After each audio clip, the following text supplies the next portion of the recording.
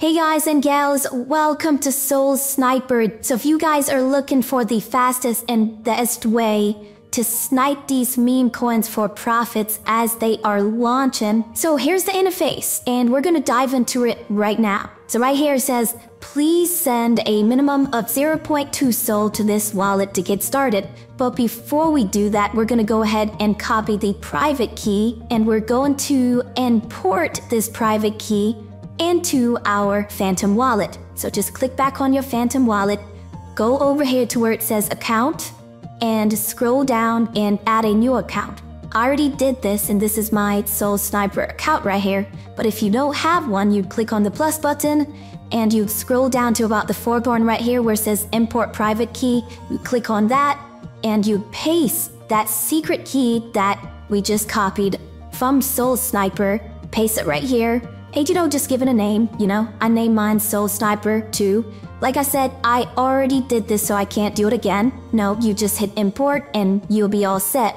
And now your Phantom wallet would basically be connected to your Sol Sniper. And the main purpose of that is to basically prevent loss. Plus, when you're ready to re return your Solana back to your wallet, this method can assist you in doing that. So I'm just gonna X out of this right now because like I said, I already did that step. So now that we have that part set up, we need to do this part, which is we need to now deposit the Solana into our sniper. I'm just gonna click copy address right here and I'm gonna actually send Solana out of my Phantom wallet into the sniping bot right now. So I'm just gonna click on Solana right here and I'm going to paste in my Sol Sniper address in this field. And then I'm going to enter the amount that I want to send. Minimum is 0.2 Solana, which is right now at about 24 dollars, something like that. And I'm just gonna click next.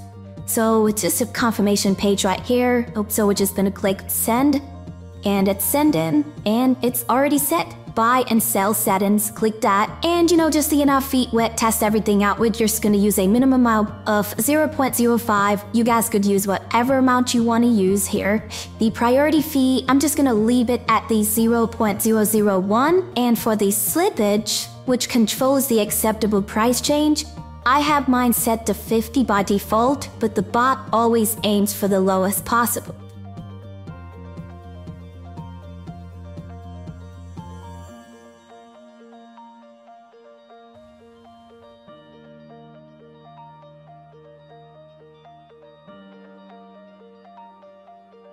So for the top 10 holders, mine is currently at 25, just gonna bump it up to 30 right there. And for the bundled max, this is the maximum bundled percentage we can tolerate. Bundle means that devs bought at the exact same time as he launched token, so this is not a red flag immediately, but percentage of bundles does matter.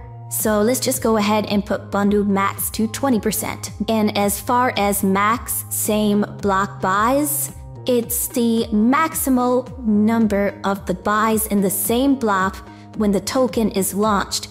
Many same block buys might indicate insider trading, so I'm just gonna put mine at 20. And remember, you guys can increase or decrease these numbers to your likings.